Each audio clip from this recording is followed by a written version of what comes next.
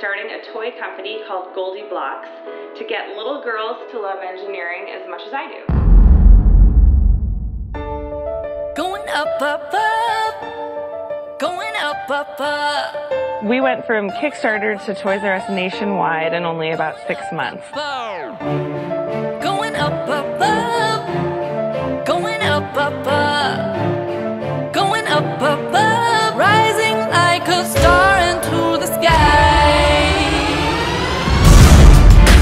Blox just scored a free 30 second Super Bowl ad.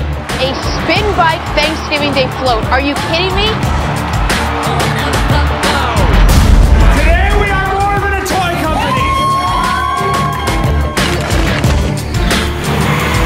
the toy of the decade, there's no doubt about it.